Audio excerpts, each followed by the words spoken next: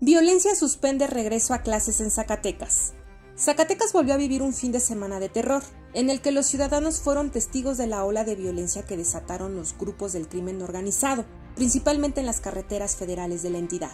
Debido a los narcobloqueos y disturbios registrados durante el 27 y 28 de agosto, diversas instituciones educativas decidieron suspender el regreso a clases. Por ello, varias universidades y escuelas de distintos niveles educativos optaron por posponer las actividades presenciales en sus planteles, algunas solo por un día y otras por un periodo de tres. Dos de ellas fueron la Universidad Autónoma de Zacatecas y la Unidad Profesional Interdisciplinaria de Ingeniería, Campus Zacatecas del Instituto Politécnico Nacional, las cuales suspendieron las clases el día 29 de agosto mientras que en el municipio de Valparaíso, las escuelas públicas de los niveles de preescolar, primaria y telesecundaria se sumaron a la suspensión de actividades presenciales, aunque en esta ocasión fue para los días 29, 30 y 31 de agosto.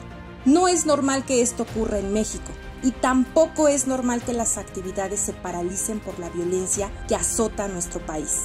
Soy Cintia López. Yo influyo.